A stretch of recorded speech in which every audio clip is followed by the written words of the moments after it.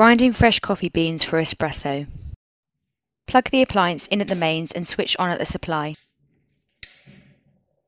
Take off the lid, fill the container with the desired amount of fresh coffee beans and replace the lid.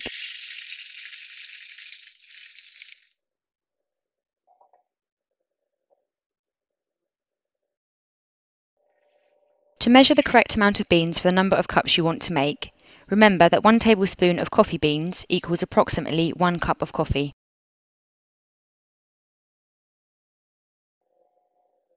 Turn the quantity dial to the number of cups you want to make.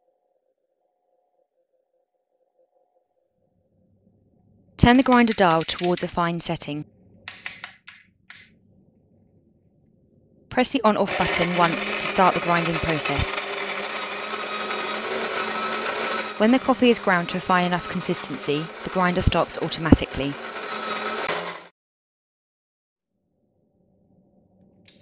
Pull out the coffee tray, take off the lid and the fresh ground espresso coffee is ready to use.